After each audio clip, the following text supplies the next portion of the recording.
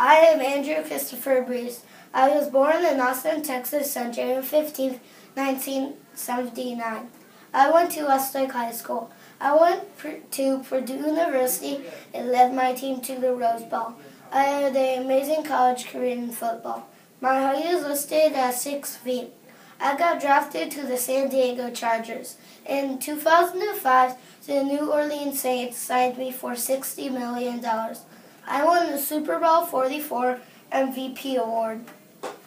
Um, I am famous for my amazing football skills.